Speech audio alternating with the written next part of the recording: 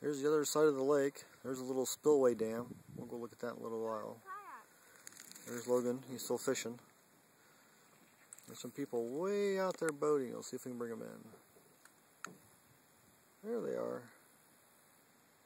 They're kayaking on this lake.